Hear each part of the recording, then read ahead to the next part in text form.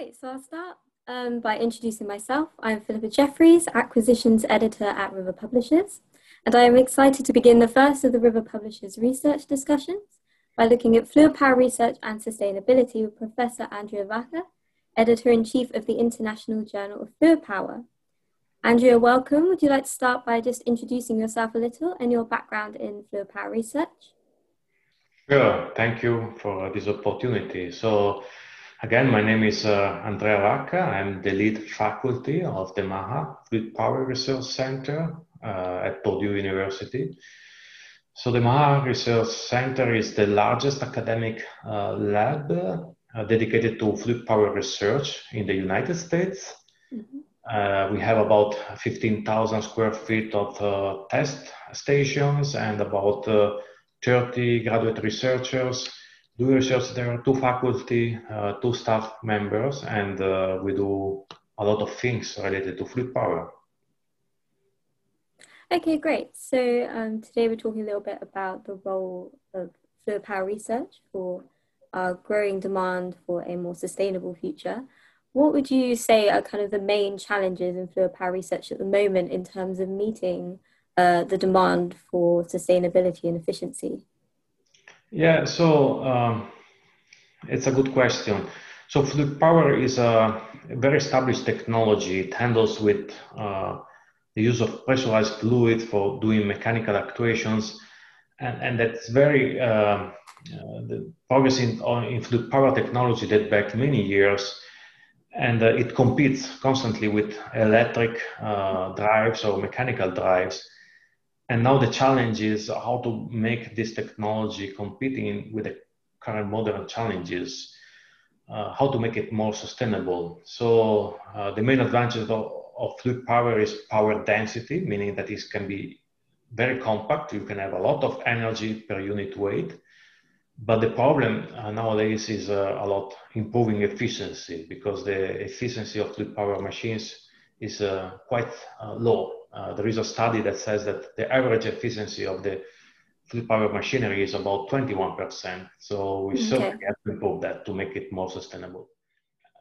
Besides energy efficiency, there are uh, other challenges to make uh, fluid power systems ubiquitous, which are uh, removing leakages, mm-hmm. trying to find ways to couple uh, the fluid power actuation with electric uh, movers, how to make the machines uh, hybrid so that uh, we can have a uh, fluid power machines coexisting with an electric machine.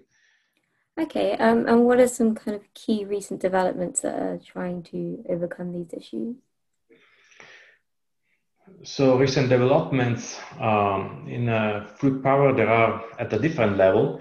So there is now a big trend of digital hydraulics. So uh, rethinking the hydraulic system more uh, in a similar way as an electric system. And that can help a lot to provide uh, power on demand uh, and uh, uh, get to more controllable and efficient systems. Another trend that is happening is decentralizing the hydraulic systems. So traditional machines, they have one uh, supply, one pump serving different functions, but the trend is to decentralize, to have uh, localized suppliers for every different functions, and that is uh, seems to solve many uh, problems.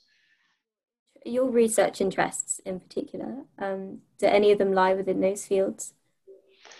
Uh, yeah, my research interests uh, are uh, mainly in uh, efficiency, in uh, new pump technology.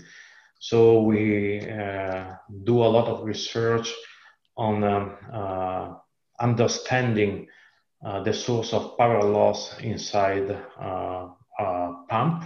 So my team is uh, one of the best in the world for pump simulation, and uh, with that also we have uh, several ideas about new pump design that can um, tackle the uh, challenge of having a more efficient component or a more silent component. Yeah. So you say that sustainability and efficiency is very important for you and your research group.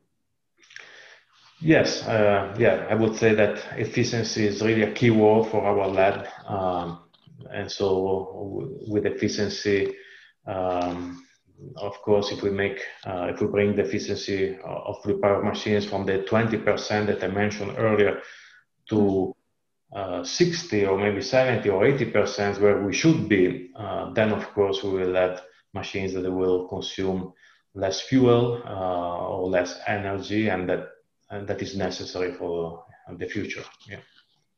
Okay, great. Um, I'm afraid we might have to end this soon, but um, do you have any final comments, particularly on kind of the future of fluid power and research in this area?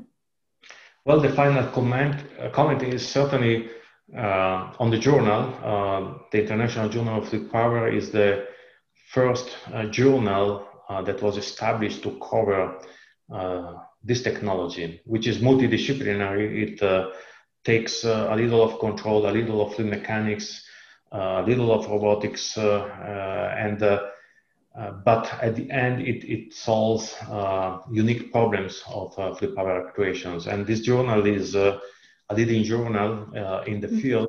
And there, I think the reader can find the best work in fluid power research, reflecting the cutting edge technology, what universities are trying to do, uh, and also in many cases also what companies are currently pursuing. Okay, great. Thank you very much. Let's end it there. Thank you very much, Andrew, for joining me today. Um, I look forward to seeing where this field goes next. It was really a pleasure.